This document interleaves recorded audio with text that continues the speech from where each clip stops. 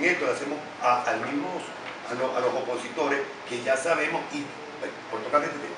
Nosotros apoyamos al comandante Hugo Chávez, patria o muerte y, y hasta, un- hasta más allá, porque, porque ya el chavismo ya es una ideología, ya es un dogma de fe, ya es un dogma de hacer revolución.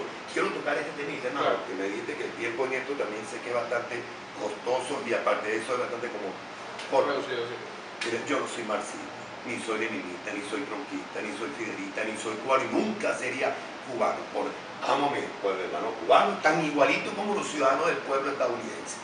Lo que pasa es que yo soy venezolano libre y soberano y vivo en una patria de Bolívar que fue independizada por nuestro libertador, pero manipulada por tantos plutócratas que gobernaron este país. Y llegó un comandante Chávez y nos da nuevamente esa, esa libertad. Entonces te digo esto para, como Sí, para salir un claro. del tema.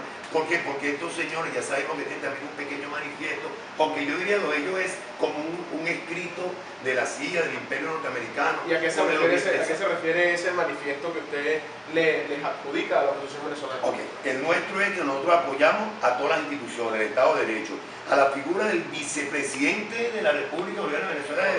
Nicolás Maduro, Moro, al, vice, al presidente de la Asamblea Nacional, Diosdado Cabello, y a, mira, desde el alcalde, a los 20 gobernadores elegidos por el pueblo, y aún más allá, aún más allá, voy con esto, de que el presidente es un presidente en ejercicio. Yo tomé algo cuando venía por acá pensando las locuras que dijo una diputada de la oposición, que, que María Corina Machado, que, que ella desconocía al, al señor vicepresidente. ¿Y cuál es la respuesta- la respuesta respuesta mía ese día, que si yo consigo a esa señora en la calle, cualquiera de las personas radicales, como ella no tiene eso que llaman ellos un, un, un